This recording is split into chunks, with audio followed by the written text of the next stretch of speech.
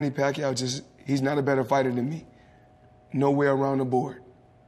Could you detect at any time in the fight that he was having a problem with his shoulder? Absolutely not. He, he, he was fast. Uh, his left hand was fast. His right hand was fast. And he was throwing them both fast and, and, and strong.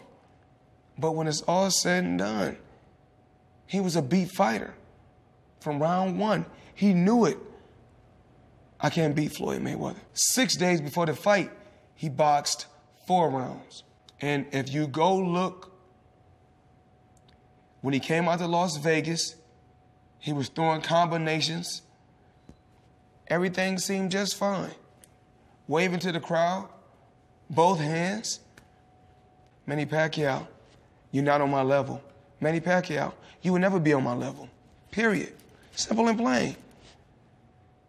If you lost, accept the loss and say, you know what, Mayweather, you know what? You was the better fighter. You was the better fighter. It's okay to be number two. It's okay to be right behind me. It's okay. How annoyed are you with Manny for I'm doing upset. this? I'm very upset.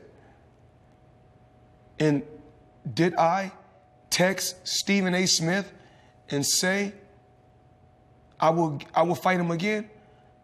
Yeah, but I changed my mind. At this particular time, no. Because he's a sore loser. And he's a coward. You know, you don't you don't do that. Coward is a pretty severe word. I just don't like that. Why do you use I it? don't really, it's just, that's a coward move.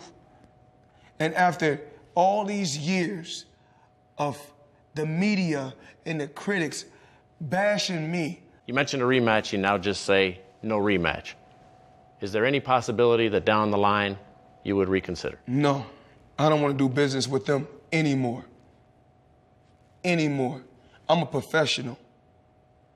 I've dealt with the biggest and some of the best Fortune 500 companies in the world. Bad business on that side. Period. Bad business. I, I knew it. I knew it. I knew it. I knew it. Excuses, excuses, excuses. I, go back. Y'all got the tapes. Go back. Y'all y'all remember what I said?